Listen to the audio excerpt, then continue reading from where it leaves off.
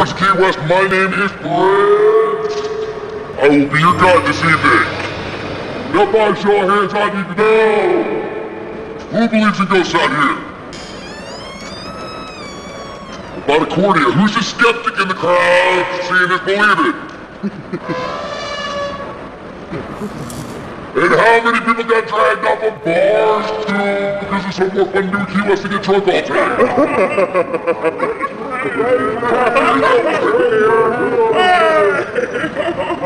Cool thing about this tour is you do not have to believe in ghosts to have a good time. What I will be speaking about is a lot of true history that happened here in this town. Now today we're bringing a camera with them. Do we have digital cameras?